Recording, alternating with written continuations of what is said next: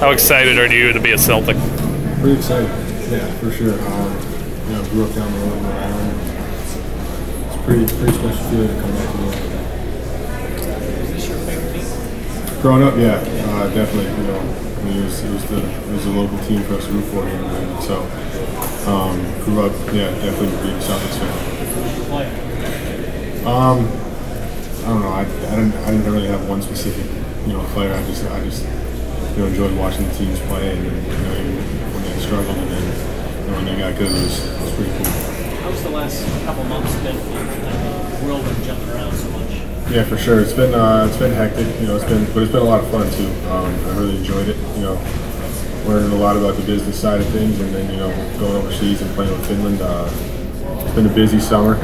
Um, but you know, it's, it's all a learning experience, and I'm, I'm taking it as I go, and um, just excited for this opportunity. What did you think about when you found out about the trade? Obviously, I was not high school. Close. It was uh, kind of a nice thing to. Yeah, it was. Uh, I mean, it was unexpected. Kind of came out of nowhere, but it was definitely, you know, it was definitely a cool feeling. Um, you know, coming back home, essentially, you know, to New England. And, know, I went to I went to high school uh, up in Southborough, St. Mark's. Uh, so coming back to Massachusetts to play was it's pretty it's pretty special feeling. Yeah, growing up, yeah, I went to a couple um, here and there. You know, whenever I could, whenever I wasn't, you know, running around playing. Was, you know, always during the season. You know, I was always busy, but you know, I got to a couple for sure. What was the last one you went to? My sophomore year of high school. It was a long time ago. That was the last one I could get to, so yeah, it was a while ago. Yeah. Yep. Do you view your situation? Obviously, you know, they got 20 guys in camp. There aren't going to be 20 guys So how do you kind of view what's going to happen?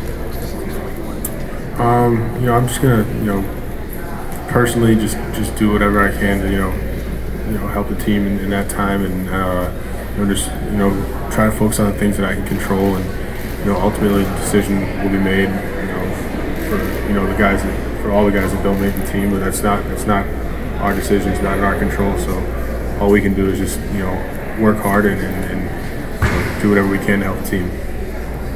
Do you see that you, you can have a spot here? Is that what they told you? Um, I feel like you know, you know, I'm always confident in myself. Uh, I feel like you know I, I can definitely play uh, at this level, and you know it all depends on situation and, and um, you know finding the, finding the right spot, finding a role in that situation. Did you play with? Uh, did you play here with Nick No, we missed each other. I missed him. Yeah, um, he was he got there the year after I left. What does it say for you know the fact that you're was obviously drafted pretty high for, for St. Mark's as a Hunger Yeah, we had some really good teams. Um, you know, over the years, even before I got there, they had some pretty good teams. You know, they wouldn't leave, and then you know, uh, I went in with a pretty good class, a group of guys that were in my class, and uh, I think you know we continued to build that program. You know, it was, we had a great coach, David Lubick, and uh, he's not coaching there anymore, but um, you know, we, we definitely had a special run there. Everyone was talking about the Finland fans at the World Cup.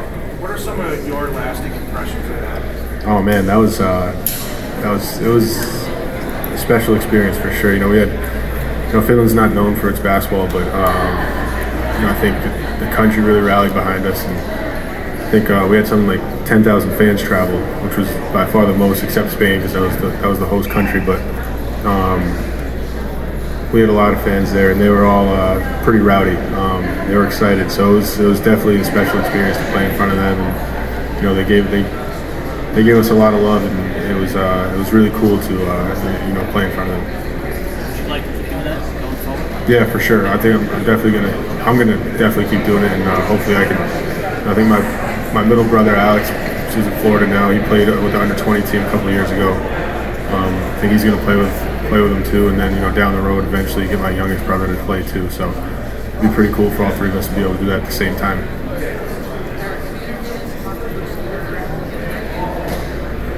Uh, I talked to him briefly uh, on the phone. Um, it was Friday afternoon when I was coming back um, from Cleveland. Uh, didn't talk too much about you know anything basketball related. Just kind of you know welcome, excited to have you, and uh, just trying to figure out what the schedule is going to be because you know I, was just flying in real quick trade. So uh, you know I, I haven't talked to him too much about that yet, but you know. Um, him, he's easy.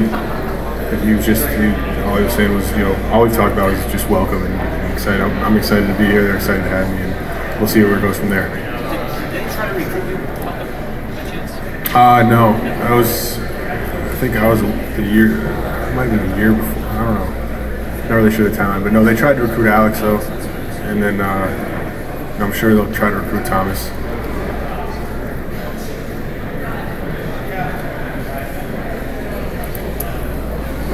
Thank you.